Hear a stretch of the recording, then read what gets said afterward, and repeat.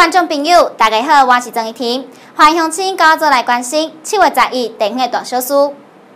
台北市长关文铁带着台北市政府团队和婚礼馆政府做市情交流，安排来到靠乡台湾雕生态创意园区，希望和两个县市共同来研究三小的美感，互相学习对方的优势。第一条，以台北市建立有机销售通路，这条什么意思？台北市长郭文铁带着台北市政府团队、甲婚姻馆政府团队，用两天的时间来到婚礼做市情的交流。第一次看到本尊，你知道吗？我那个在五十年了，这个这个对，他今年是史艳伦五十岁生日，五十年了。我这五十年后终于看到这个真正的本尊。那这次来这里，当然是看看这个一样。我们说出外哈，几个目的，第一就是增广见闻。多学习，那也新认识一些朋友。他说我们，因为这一次这个台北市政府的团队跟云林县政府的团队，也趁这个机会啊，可以做彼此的交流。那也希望说在以后有更多的合作机会。好，谢谢大家。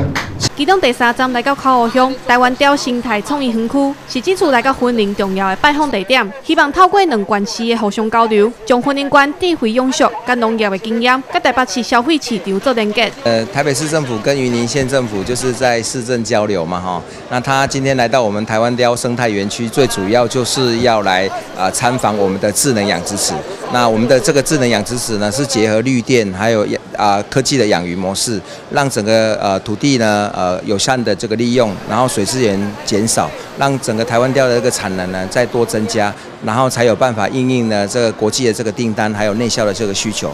那这样的养殖模式呢，也是我们自己研发出来的。透过干部和两个管市长，真紧就了解两个管区的优点，嘛透过这次互相交流，会当互相来学习两个管区的优势。上海中啊，咱是一个农业大县吼，咱是一个生产县啦吼，啊台北是一个消费县啦吼，所以呢，种生产县跟消费县吼。啊，伫个农渔的部分哈，爱当搭起一个桥梁的话，那相信呢，对咱的农民提民拢有真大帮助。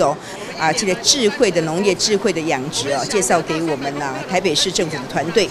今天几乎哈啊，台北市政府所有团队都到云林县来了。那云林县政府所有的团队哈，那彼此之间呢？啊，各个相关的这局处啊，相关业务啊，都会进行哈更紧密的一个联系，更紧密的一个啊交流然后对话。瓜分天气政府都要来到云林拜访台湾雕生态创意园区，嘛分别到后尾布袋戏馆、水南黄金叶博生态馆以及高溪华山游客中心等等的地点，希望透过互相交流，和两个关系会当做伙合作，创造出无同款的交流方式。记者丁贵主场报道。